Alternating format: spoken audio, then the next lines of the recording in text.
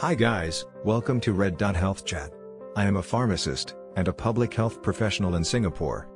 Over the years, I have the privilege interacting with patients and caregivers at the front line of our healthcare system.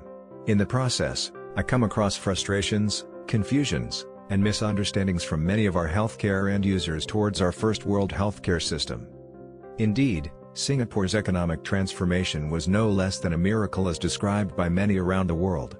Its rise from a third world status to the first world in a single generation was much celebrated and cherished by all of us.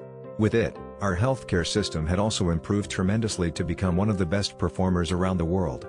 As we celebrate the achievement, we also got to realize that many of our patients today come from the pioneer and Merdeka generations, and these are exactly the people who grew up and contributed in the third world Singapore in the past. Most of them had limited formal education, and have huge difficulties understanding and navigating our first world healthcare system today. While COVID-19 brought about much disruptions to the life as we know it, the pandemic also ushered in an accelerated digital adoption in Singapore. With it, I hope that our patients, including the elderly, as well as their caregivers, start to gain access to more information online, which will allow them to better understand this fast-changing world we now live in.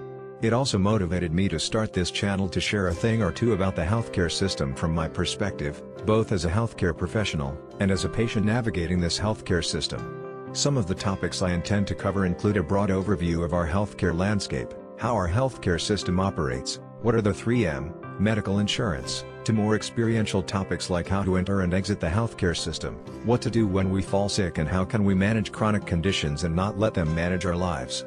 If there is opportunity, I may also go into sharing on disease-specific issues covering common conditions like high blood pressure, high blood cholesterol, diabetes, minor ailments, and so on. I hope you will find my sharing useful. If you like the content, do feel free to like and subscribe. Similarly, if there are issues and topics you would like me to cover, please comment down below as well. Thank you and I'll see you in the next video.